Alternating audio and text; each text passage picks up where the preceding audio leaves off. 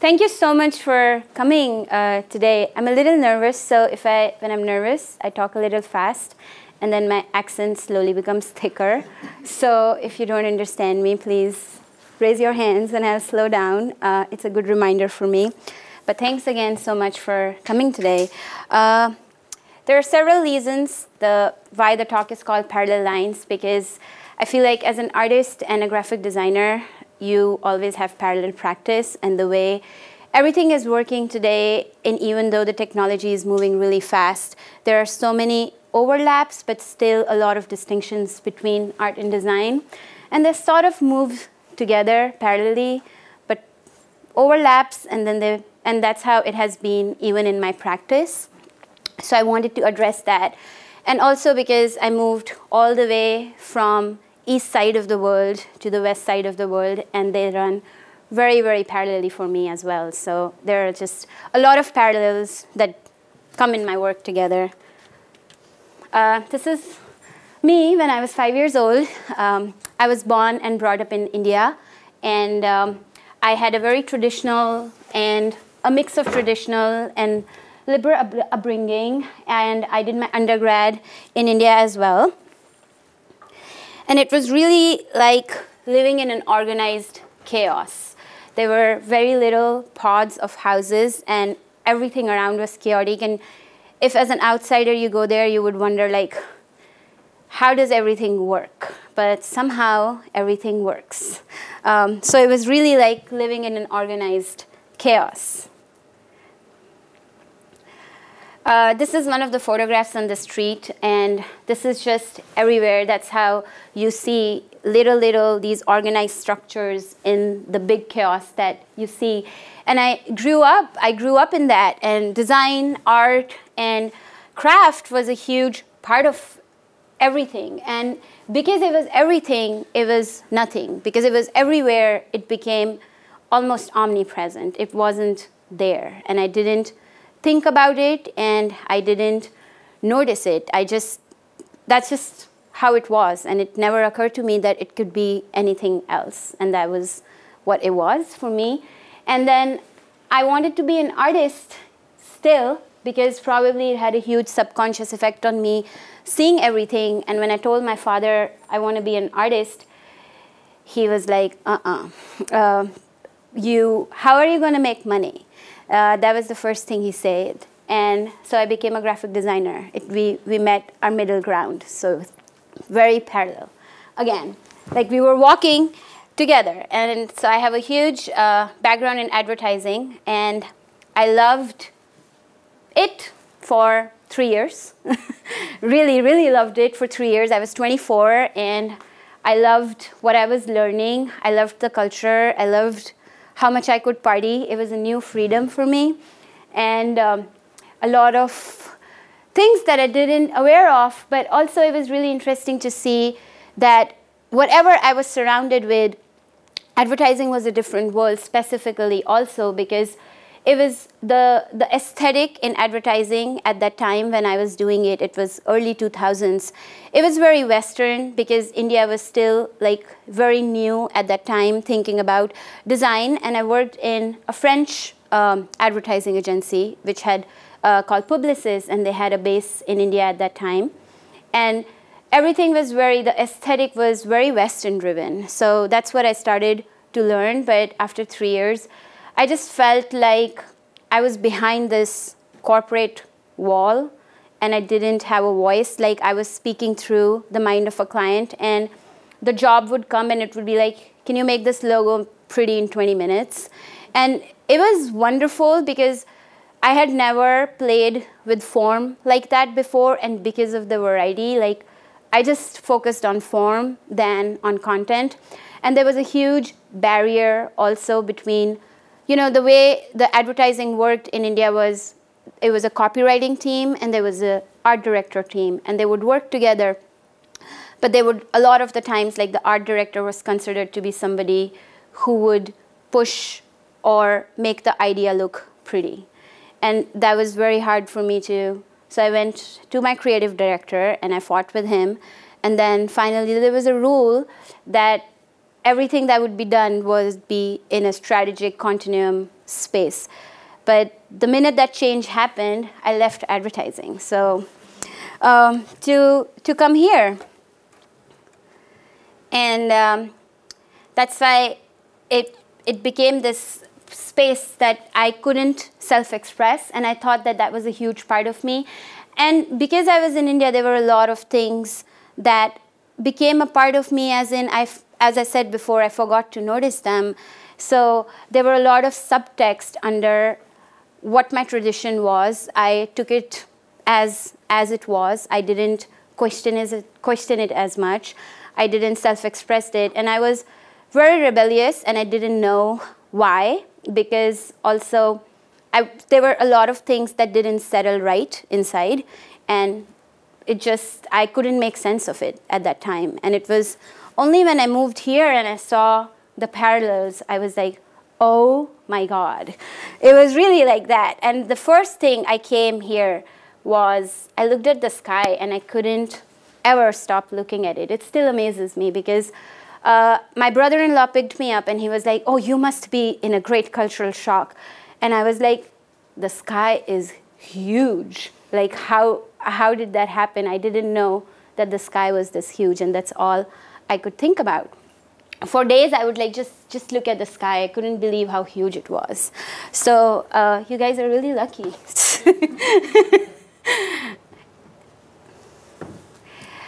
and then when I got here, I went to school. I went to RIT first. I went to Rochester Institute of Technology, and then I went to uh, University of Florida. And University of Florida.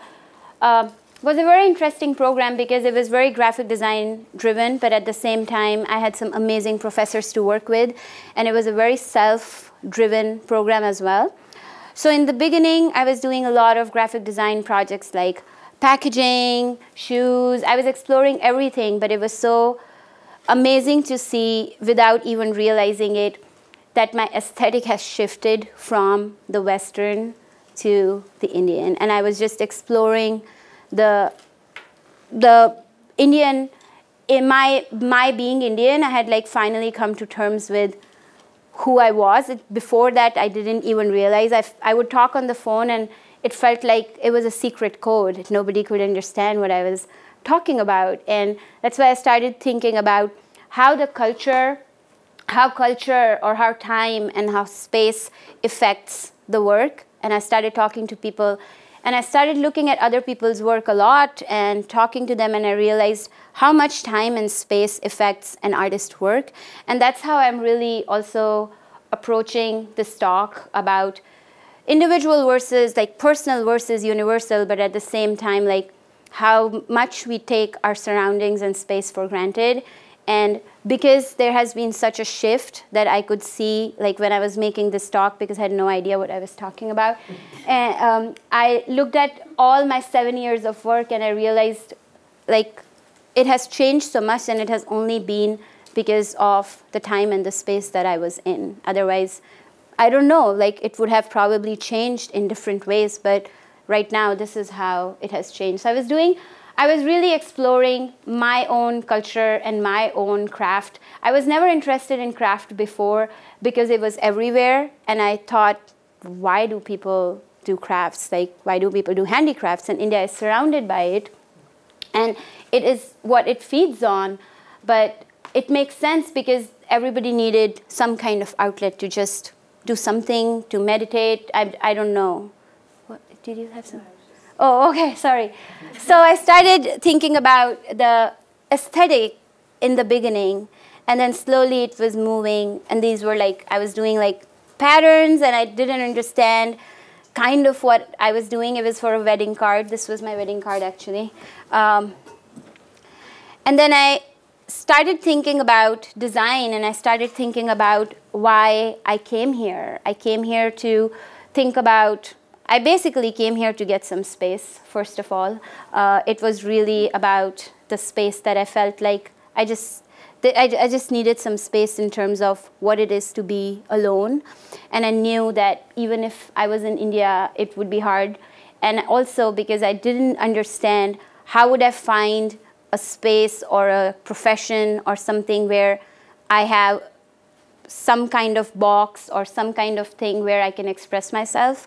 So, was, so when I started, first I started exploring the aesthetic and then I went a layer deeper and I started to think about what, what does design do for me? Like how can I use it beyond making packaging? How can I use it beyond making books? Uh, and all those things are beautiful and they suddenly made sense. After advertising for a really long time, I thought design is bad because it just was that culture for me that I thought that design was just bad.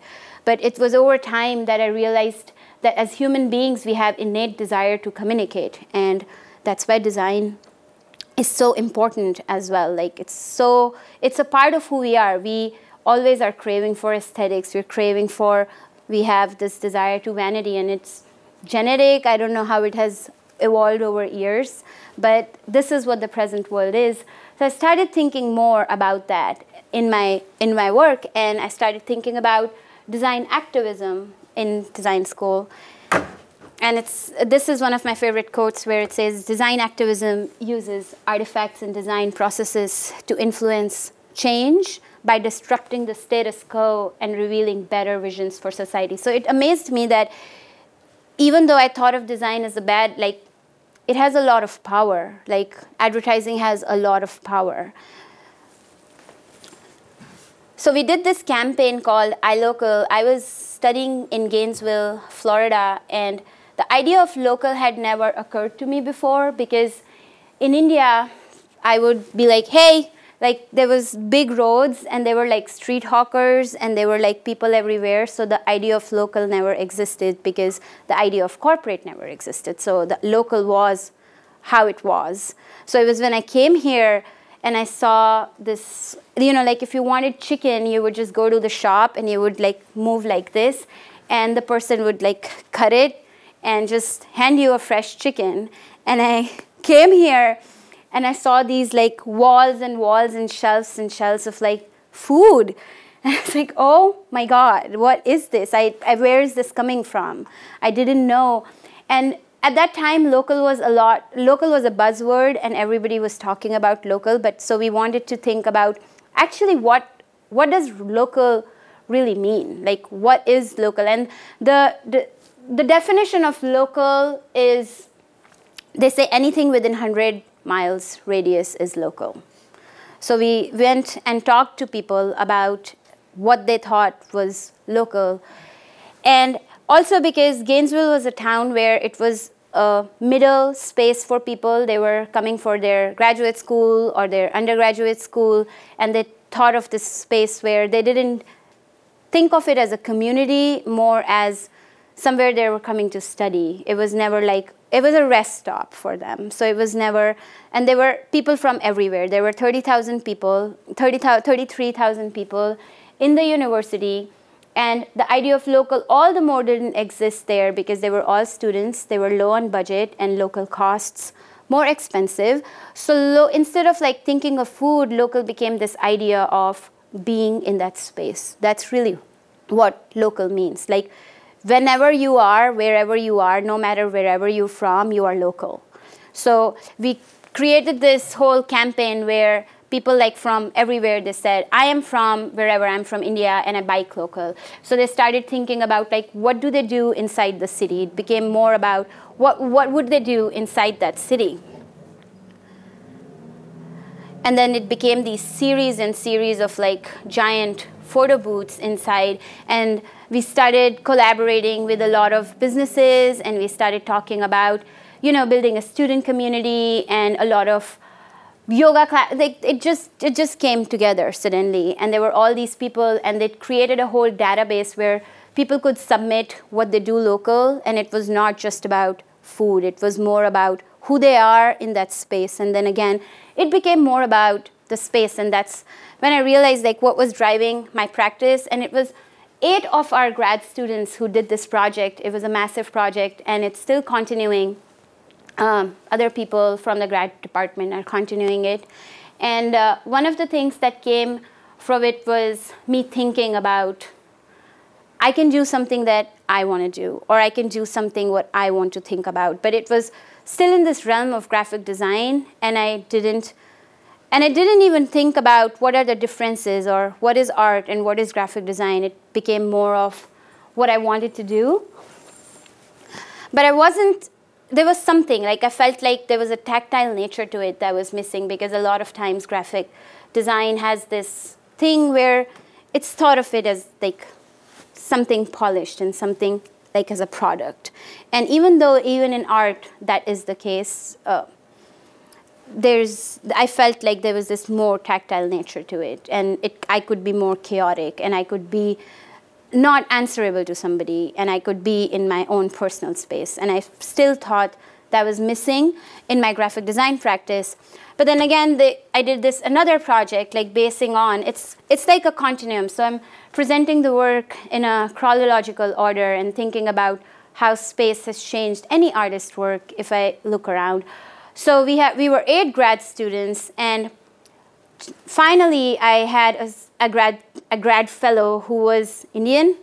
And I was like, oh, okay, somebody understands what I'm saying in language, like almost, otherwise everybody understands what I'm saying, of course, but it was more about, oh, it's, it's different. But then I was sitting in the studio one day, and we had only one American in my grad program, and two, two Mexican, two Chinese. So we were two Spanish, so it was basically an international grad program and one, one American person. So I was sitting in my studio one day and five people were on phone and they were talking four different languages and I couldn't understand what they were saying.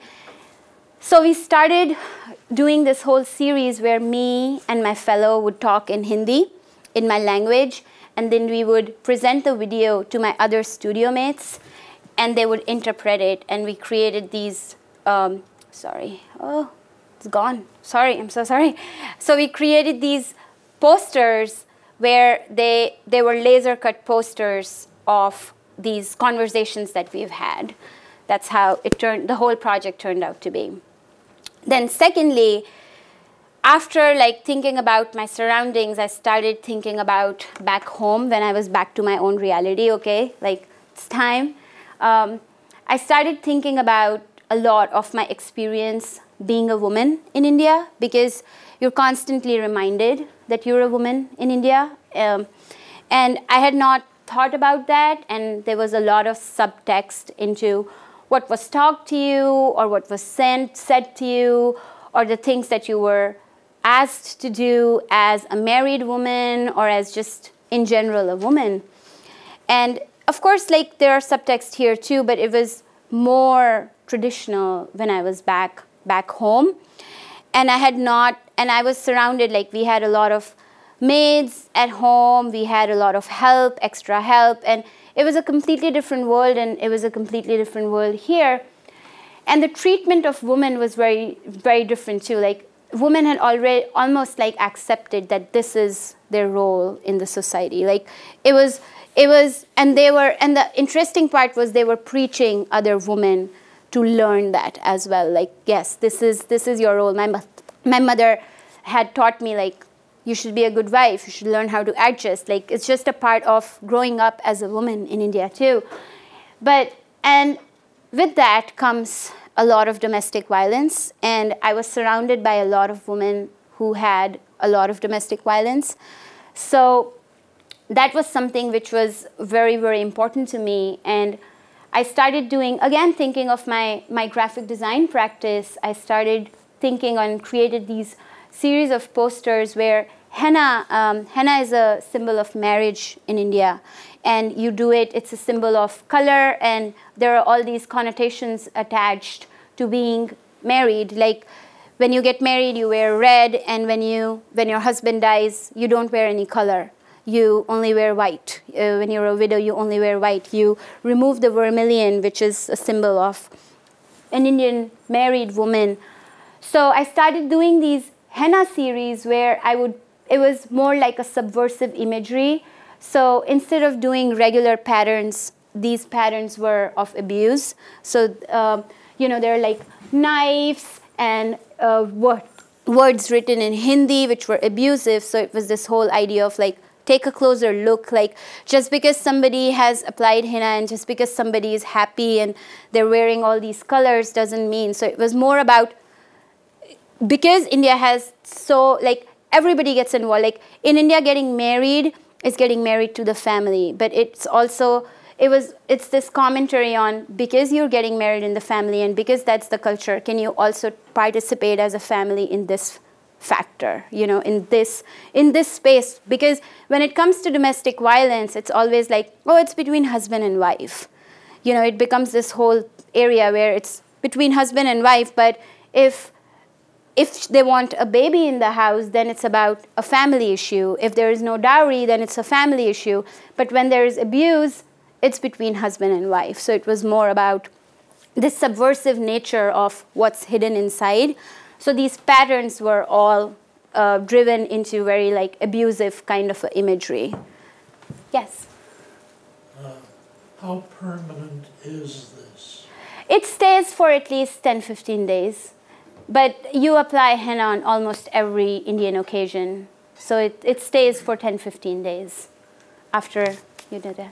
Yeah. I've always wondered how. And then they, they do it in Arab, uh, they do it in a lot of Middle Eastern spaces, and they do it in Indonesia. There are a lot of Asian, but in India specifically, because it's a huge part, it's like a whole ceremony in India where uh, the bride sits and gets this henna applied till here for like five six hours and it's a whole different it's a it's a completely different ceremony. It's a symbol of marriage like you don't get married without henna.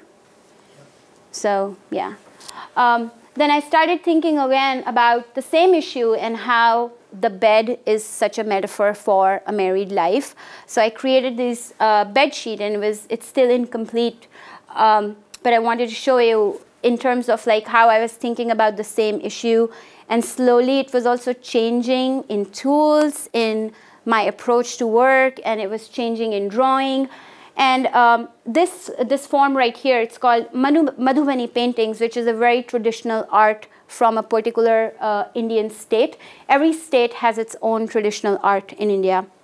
And in those states, there are separate villages which has their own separate traditional art. So this comes from this, and it's very famous because they sell a lot of handicrafts and you know it's a very big symbol of marriage too because it started as when the woman gets married the whole room is painted in this style painting and it's like ceremonies or and it's uh, images of like women intimacy and you know moving traveling from their husbands from their family to their husband so i created again this like subversive sort of imagery where it's a bed sheet of like domestic violence. So these all these imagery is where the man is hitting. But it's also again subversive because from far you don't see it, but when you look closer, um, I was developing that aesthetic at that time. And then I started investigating into the cultural symbols. So I was very interested in the color red. Color red is a very, very big part of my practice and I couldn't understand it though, like why it is a big part of my practice. But I started thinking about why do we apply, why does only a woman has to apply the vermilion? There is no symbol of marriage for men in India.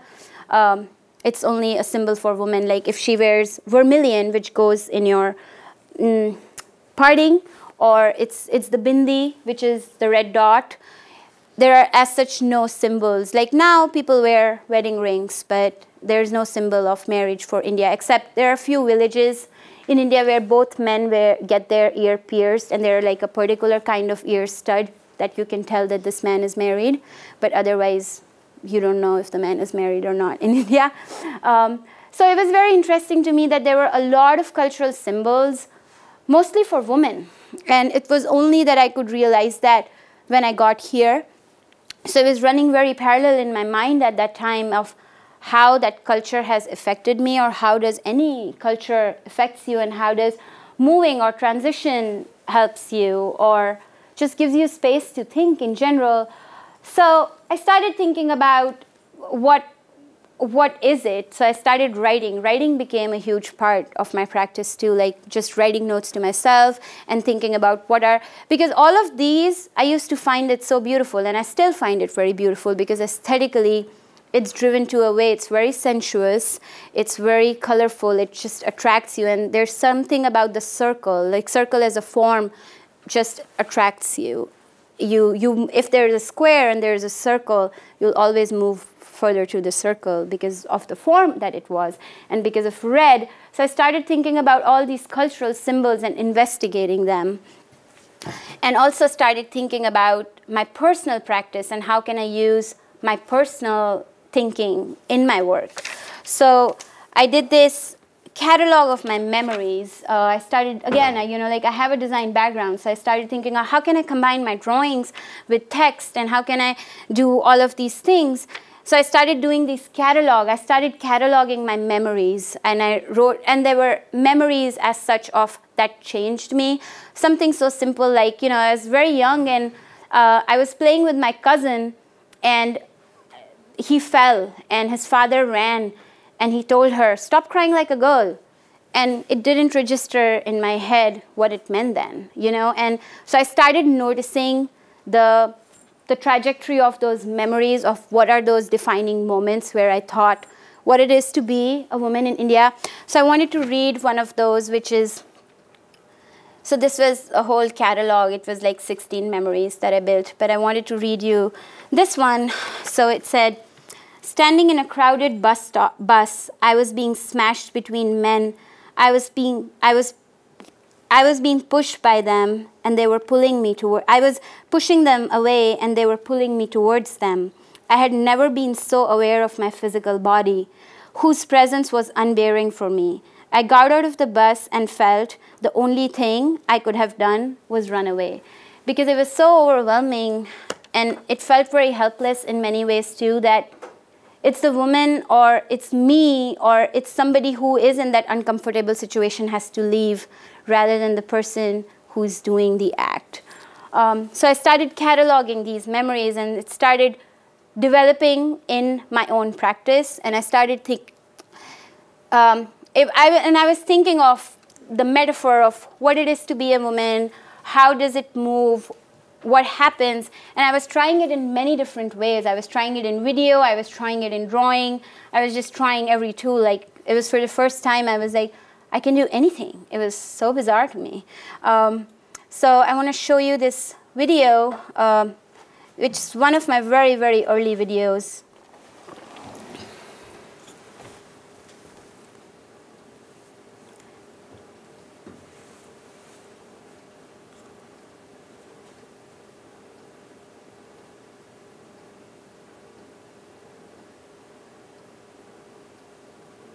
That's why it's so shaky.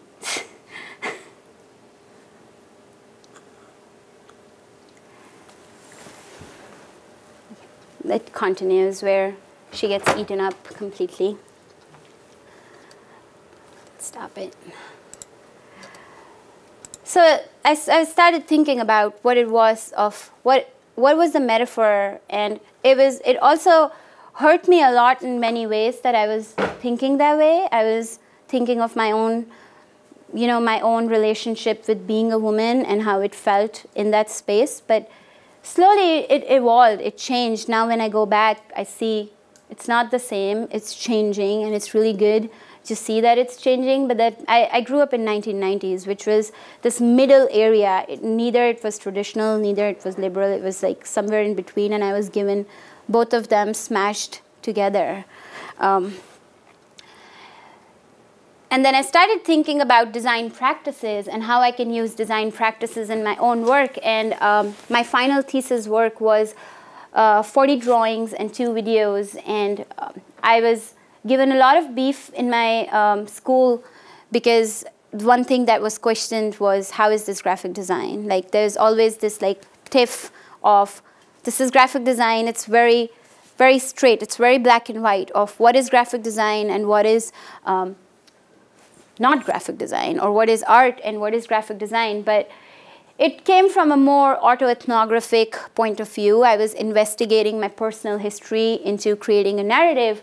So that's that's what I was doing, and this was the final show, um, and it was about me being in India again and changing the, how that changed the shift and how that it closed. My Mimosa pudica is a plant uh, which basically you touch it and it curls and when you leave it um, and i used to be surrounded with it. When i was in india they were all over. So I, I, used to play with them all the time. I would touch it and then it would leave and it would so it almost felt like when i was there i would i would close myself and then i would open. So it became this metaphor and that's what the show was called at that time. And i had two videos in it. And i'll show you part of the video and this video came from my conversation. Um, I was in a relationship with my then boyfriend, now husband, um, and I went to visit his mother. And his mother is very traditional, but very accepting. And in India, for me, I went to meet her mostly because before marriage, uh, before getting married to Debraj, my husband, I told him I want to go see your parents in Malaysia, and he was like, "Why?" And I was like, well, that will determine if I can marry you or not. so um, I went to meet her, and it was a very interesting mix because she was very traditional, but she gave me a lot of space too. Like she told me her values, but she didn't impose them. And that was enough for me because I was hoping that it would be somebody who will just, in India, it's like just normal, like when a woman comes in the house, they are told like how their house functions. And that's it. Like you're supposed to enter the house and you're supposed to learn how their house functions. But she was telling me how the house functions, what are the things she feels, but she never told me I have to do those. Like she told me I can choose, I, and I, uh, with, with her I chose to fight my battles too. Um, but one thing that she told me which was very interesting was, and it told me like how, it made me think of how she feels. She said there are three births that a woman has. One is when she's born, one is when she gets married, and when once when she has kids, there are only three ways. Like a woman is born thrice, and that was her. You know, she's a she's a wife, she's a mother, and she's a daughter, and you know, so that's what the video is based in. It doesn't have sound, so uh, when you walk, when you go in India, and when you get married, uh, there's a big red bowl of alta, which is red, and you put your feet in it and you walk, and it's a symbol of that you've left the house behind and you're marking a new journey in your in this new and nothing goes back. So this video was created thinking about the same ideas.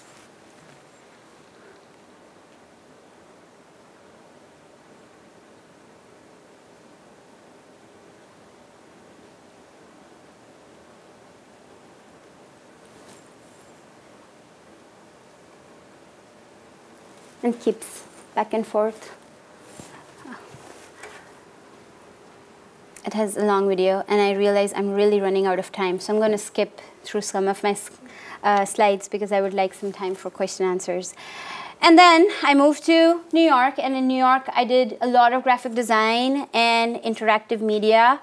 That was uh, really what I did basically. But then again, my design practice suddenly separated the minute I got out of grad school uh, because I had a graphic design practice and I packed my two bags and basically moved to New York. I needed to survive. So my graphic design practice came in very handy as a vocational skill, which I used to avoid. But suddenly it just came together. But then again, uh, right after grad school, they again became very separate because this was graphic design and this was art. And I started, I, hired, I got a studio in New York and I started creating small scale work uh, and got really inspired by New York because the women were just beautiful in New York. And they were they were just the whole culture just reminded me of home. It was a different kind of like portrayal but it was also cringing but at the same time like it feeds into vanity and a lot of other things that I'm interested in so I started making small scale work when I was in New York. And these are like some of the altered books that I found um, in New York. Like you can find just $1 books on the streets. So I would like find these books and I would alter them and uh, look at the topics that I was interested in. And then I started thinking again about like jewelry and I started going back and these are some of the other drawings that I created at that time because it had a lot to do with the idea of intimacy and sexuality because until that time I had not thought about thought about it because it was in India you're not really talked about sex. You know you're talked about it in a way where it's bad or you're only supposed to have it after marriage. And uh, you know you never you never think of it because it's always the woman who in the terms like she's the one who suffers you know if sex gives you suffering. It's it's it's very it runs very overlapping.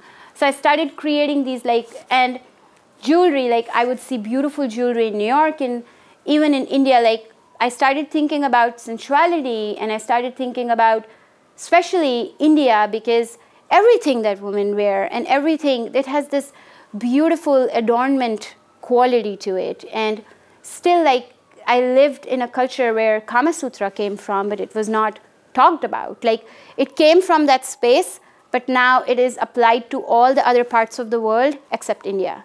So I just started thinking about because it is so driven in adornment, sexuality, physicality, how a woman should look, what man is, and how also what desire is. You know, like when you're in New York, you feel a lot of desire. You you have this like even if you don't want to, you end up feeling a lot of desire. So I started thinking about those things and what it was when I was back there too. Like, you know, I wanted to think about all of those things, but I felt very ashamed to think about those. And I, you know, like picking up a Kama Sutra and reading it is considered like, whoa, what is this person reading?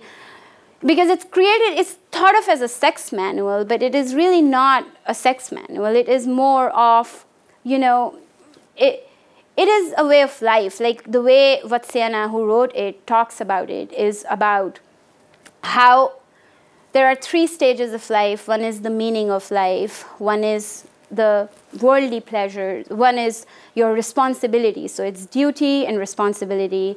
One is world, worldly pleasures, which is basically this. And they say that your life is complete when they all come together and they move together in a continuum. Like you have to be good in all of those. So he really talks about it from a point of view of sex as not just something that it's a way of life. That's how he talks about it. He talks about it from a level of pleasure. He talks about it from every possible way. So I started thinking about that and I started developing. Uh, I went to, that year I went to India and I went to Khajuraho temples, which is the sex temples in India. And it fascinated me, like the, the quality of the work, everything. So I started working on that. And suddenly, again, like the text came. So the way he talks about it is he talks about how men and women are divided into three, three, three categories, uh, which is based on animal. A woman is a deer, a mare, and an elephant. And a man is a hare, a horse and a bull. And he talks about equals and unequal unions. So a lot of work became very prevalent in text. You know, like I was reading the language, and the language was also very visually metaphoric. It was beautiful. It is beautiful. And I'm still working on these series. So these are some of the drawings um, from that series. And I had a show in New Orleans, and I submitted those uh, drawings. So this is some of the work from there. And then I moved to Portland and I was miserable because I had moved from New York and I was depressed. Like, and I had, I came back to, I came back, uh, we moved to New York, from New York immediately to Portland and a month, and a week later I went to India to have a research trip for three months.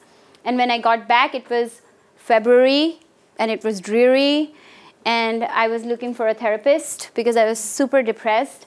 And I started thinking about, suddenly like the distance came so much and I was feeling very bland. I was feeling very bland in terms of like my surroundings and it's not that it was bland, it was, I was comparing it. I was comparing it to something else and it had become plain, simple, you know, and I was missing, I was missing my people and suddenly the distance had become so clear to me. Like I had flown, I'd flown, I've you know, I flew from India here, and it was crazy because it took me 42 hours. And so I started thinking about the idea of memory, and I started writing these postcards to everybody I love Um, and you know, I would create a memory in my head. Either it was a memory that was created or a memory that I was yearning for. And it was very plain, it was a simple image. And I would create the envelopes too, and it would map the distance. Uh, this has gone to New York, 33 Union Square. Um, it's gone to my friend. So I created these. I still send them. They're not as regular. And I was thinking about rituals and how my rituals affect my practice. So this, they were um, in a show in New York as well. So here. And then finally, uh, I created these series when everything started to make sense, why I was thinking the way I was thinking, is uh, because of my relationship with my mother. Uh, you know, I had a very um, open relationship, but at the same time, not an open relationship. She was somewhere in between. She was very liberal. She taught me to be very independent, but she also taught me what are my duties as a woman. And also, she she loves vanity is a very important part of her life and my house is very you know my house is very traditional and very beautiful wood structures and very luscious sofas and you know all of these. And i started thinking about the idea of a mother figure. So i started creating these drawings. Um, these drawings are up in the library right now and they're coming down next week. Uh, so started thinking about everything. Like the show became this culmination of everything how I related to my sexuality, how I related to myself, how I related myself with men, how I thought of myself in general. And it was like I was a mirror image of her, but I was also defying her.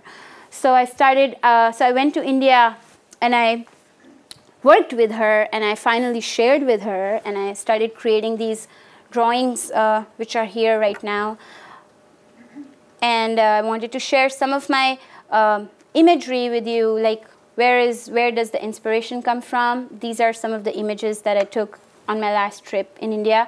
This is a this is a heap of vermilion that you put in your uh, you know in your uh, parting, and the same is here. You find fish, and that's how I dress up, like super. Like I have to wear everything I can possibly, uh, you know, and um, one of the pieces in my show is this hook in which all these papers are hanging. And it's a very traditional, you know, it's not really traditional, it's just a normal way where people just keep piling up their bills or old papers and they never want to look at it. And it became this symbol for me. It felt like a hook about all these questions that I wanted to ask my mother, but I never did. Uh, but also at the same time, it's something that is in the past and you know you will never look at it, but it's still there. So it's like omnipresent, but still present. So I created the same piece in the show as well, but I typed out almost like 200 questions to my mother that I wanted to ask her. And this is that piece. This is some of the installation shots from that show, actually. Um, and then this is another uh, installation piece from that show uh, my mom used to make me walk with uh, books on my head because uh, she used to think I walk like a boy. So she used to make me walk uh, with books on my head. So I created these shoes, and it it felt like I'm not present there, but I still am because every time I walk, you know, every time I do something, she's always present in many ways and I've learned how to and that's why the show is also called guilty about not being guilty because I used to lie to her a lot escape. And um, it came to a level where I was not even I was guilty about not being guilty because I was doing all those things and I was being rebellious and I didn't care but there came a point I was like oh my god I'm not even guilty about you know I'm not guilty about these things. And I started becoming more guilty about that I was not guilty. So it be became this cycle, and that's what the show is called. Um, it's called Guilty About Not Being Guilty. Uh, these are some more uh, drawings from that show as well. Uh, then again, these are some of the imagery. That's my mom. Uh, I made her sit on that sofa and I collaged it. Uh, and you know, um, the, the top part, which is a candy, I used to eat that candy as a kid a lot. And it's like these really like spicy black color balls. And I, she used to tell me not to eat them all the time because, you know, like it used to make my stomach upset. They were so spicy. And I would be like, no, no, no, no, no, no, I didn't eat it. And she's like, open your mouth. It was really like, Johnny, Johnny, yes, Papa. And it would be all black. So it was like, you know, I would hide it. And that's what uh, this drawing is actually. This one, right here.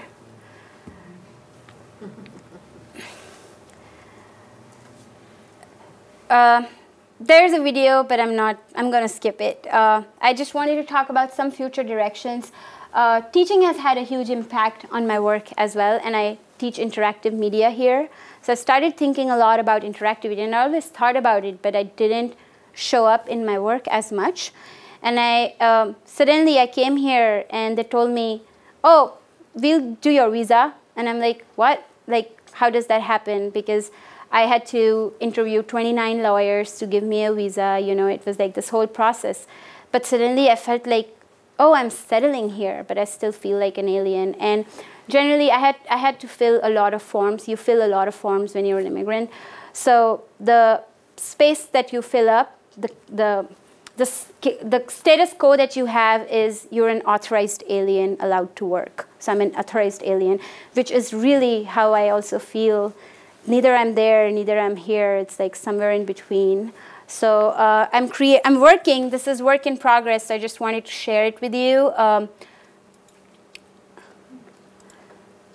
so it's this series that I would do, uh, and you authorize authorize me. So it's like I'm an alien, authorized to know I'm an alien, authorized to clean I'm an alien, authorized to. Know. But this is just a work in progress. I'm investigating this series in multiple ways, but mostly interactive because now all the forms are online as well. Um, and then another work that I'm working on is I'm working with uh, Indian women um, in India who work with traditional arts called Kantha.